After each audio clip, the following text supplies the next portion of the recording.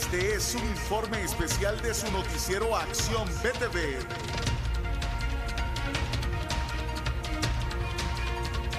En estos momentos tenemos un contacto en vivo, nos están comunicando que comienza la audiencia inicial del asesinato de Arnold Peralta. Nuestro compañero Jason Maldonado nos detalla qué es lo que está pasando. Buenos días, Jason.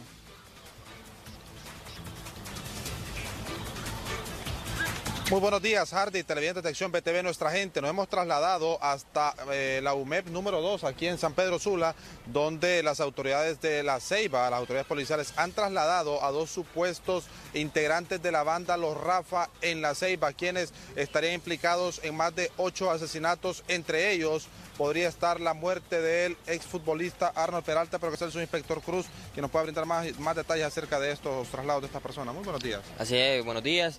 Eh, pues como bien lo dijo, en este momento pues hemos trasladado eh, dos detenidos, los cuales responden al nombre de Edwin Ernesto David Guití y José Lino Colón, pues estas personas, eh, según la inteligencia, pues pertenecen a la banda Los Rafas y como dice usted, pues está siendo vinculado con varios delitos de asesinato.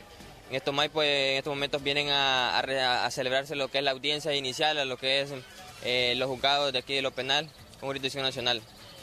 ¿Cuántos delitos andarían de estas personas?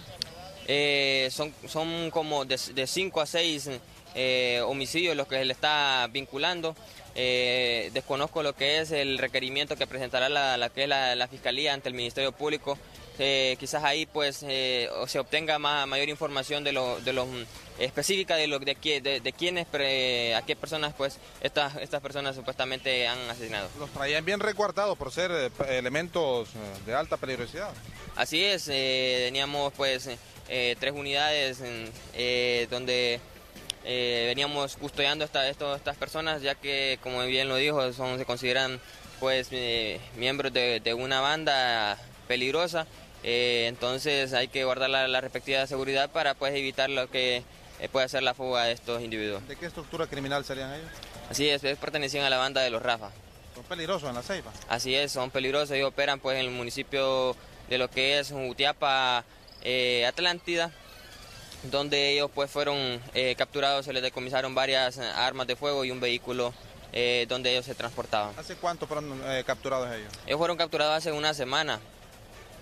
Bueno, a ustedes se ve que desde muy temprano tuvieron que haber salido y ellos ah, de aquí lo van a resguardar a ellos en la audiencia y después se los vuelven a llevar a la ceiba.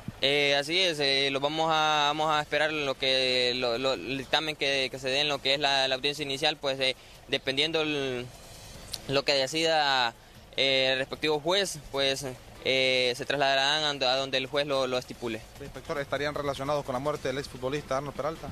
No le digo, eh, desconozco si están relacionados, eso lo, lo, estipula lo que es la, Fiscalía en el requerimiento que presentará ante el Ministerio Público, pues es donde ahí se conocerá mayor detalle sobre qué, a qué personas pues estos, estas personas mm, están siendo vinculadas de que han asesinado. ¿No repite el nombre de los dos detenidos?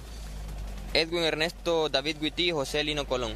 muchas gracias al subinspector Cruz, quien nos ha brindado la información acerca de estas dos personas que han sido trasladadas del el departamento de Atlántida, exactamente en el municipio de La Ceiba, quienes van a la audiencia inicial vinculados en más de ocho asesinatos donde podría estar la muerte del exfutbolista Arnold Peralta, futbolista que era de la selección nacional y del Club Deportivo Olimpia. Con este informe y con las imágenes de Marco Villeda, más conocido como mi papa el rejuvenecido, nosotros volvemos a los estudios principales de Acción BTV, nuestra gente. Este fue un informe especial de su noticiero Acción BTV. Gracias Jason por este informe.